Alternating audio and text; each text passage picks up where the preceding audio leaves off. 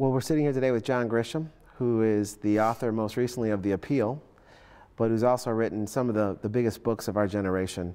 Thank you so much for taking time to talk to Borders today. My pleasure. Welcome to Charlottesville. Oh, it's, it's nice to be here. You know, I thought we'd start talking about the new book. It's a return to legal thrillers for mm -hmm. you. Mm-hmm. Your last one, I believe, was 2005 with The Broker. Mm -hmm. It's one of those themes that I know your, your fans are going to be absolutely thrilled to, to have you come back to. So you set it up similar to some of your other, other books. Sure. As you progress, though, into the book, uh, it, the, the, story gets a lot more complicated. You talked about some of the political intrigue, but maybe you can tell us a little bit about some of those themes as far as the, the politics and the judgeships. Well, the book is all fiction, uh, but there's a lot of truth in it. And what's happened in this country in the past really 10 years, there's been a uh, well financed, well coordinated um, effort on the part of big business uh, and the Chamber of Commerce to purchase seats on Supreme Courts. 30 some odd states elect their judges. And almost all those states have no restrictions as to private money. So you've got uh, some very powerful special interest groups uh, raising lots of money to buy judgeships. And the races have become terribly expensive, uh, even in small states and the campaigns are incredibly nasty and vicious, and and it's a it's kind of a rotten system. We're, we're, there's a lot of money obviously involved in these races. There's a lot of money at stake, and what, what I did with with the appeal was take one case, and show how much money can be at stake in one case, and have one bad guy, uh, one corporate guy who's um, you know pretty evil and show how he can manipulate the system. And again, it's all fiction, but it's also very realistic you know, your, your career as a, as a lawyer obviously plays into all of your legal books, and in fact, all of your books.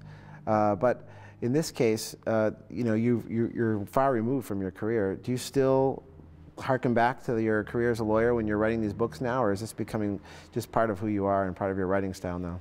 Well, being a lawyer was crucial to being a writer for me. I mean, even even now, uh, when I read a book that's a, legal thriller about the law, I can tell if it's written by a lawyer or not. I mean, it's, it's pretty easy. And so when I write the books, especially the legal thrillers or the courtroom dramas or whatever, um, I know the stuff. I mean, I know, I know the basics. I, I do a fair amount of research. Uh, but I don't think I would have ever written the first book had I not been a lawyer. So they all go back to that eventually. That first book, uh, Time to Kill, which was way back in 1989, do you, do you look at that and, and can you still look at your old books and, and sort of understand where you were at that time, or is it hard for you to look at that? It's odd. Uh, over the years, people ask me, um, they'll say, you know, I, I, enjoyed your first books, but I really, you know, I don't get your later books. So I, I ask myself, well, have I changed? Have I changed? Has my style changed? And so I'll go back uh, occasionally and read A Time to Kill or, or The Firm, two books that were written without knowing if they were ever going to get published. I can't see any difference. I can't. I cannot. Although it's hard for me to read my own stuff, and I, you know, I've written. Uh, this is the appeal is book number 21 in 20 years, uh, 19 years. Obviously, I'm writing them pretty fast. Uh, by the time I finish one, I tend to put it down and go to the next one. I don't. Uh, and I've always found it difficult to go back and pick up a book and just open it up and because you'll read a you'll read a sentence. I'll read a sentence and I'll say that's that sounds pretty good, you know, and, and, I'll read the next There's one and say, yeah, the, the, next one I'll read and go, ouch, you know, well, I was in a hurry when I wrote that. I should have I should have taken more time. Do you so. remember writing those books? I mean, you remember the uh, you know sentence formulation, all that, or no? Just... I can I can pretty well remember where I was in life, where I was physically, what was happening that year with each book. Uh, but again, after 21 books, it's I have a hard time remembering the characters.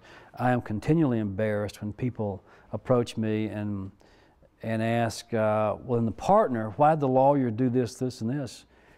Or why did this character? And I have trouble remembering what the names are. You yeah. Know, it's, it's a, it's a, There've been a lot of words since then. It's one of the challenges of being uh, as prolific as you are. I don't worry about it too much. I just, I'm, I'm doing the next book. I'm right. doing the next book. Well, I know you're on to the next book, but I want to talk about Time to Kill one more time because that book came out of your you, you were writing it basically um, you know behind the scenes. You were working as a lawyer. It was a, it was a private hobby um, and, and maybe a hoped for career. But uh, This book was published actually by a publisher named Wynwood Press, I believe, and they didn't make it long enough to succeed with you. I mean, do you keep in touch with any of the, the folks from that publishing house back then? No, they went under real fast. It was a brand new publishing company in 1989. I think uh, Time to Kill was the first or second novel they published. They had a short list that year and a short list the next year. And I think after a couple years, they went broke or closed or whatever. Time to Kill, they printed 5,000 hardback copies. It never went to paperback. It didn't sell the hardback and it sort of languished around for a year or so. Uh, there were a few copies in bookstores around Memphis, but nowhere else. And then uh, when the firm came out in March of uh, 91, suddenly there was some interest in the earlier book, uh, and it, they disappeared pretty fast from the bookstores. Oh, but sure did. No, uh, Wynwood was, uh, you know, they gave me a break. They published my first book, but it didn't sell, and they, they didn't stay in business long enough to, to publish the next one. Yeah, well, they found you, and there's a lot of people who are certainly glad about that.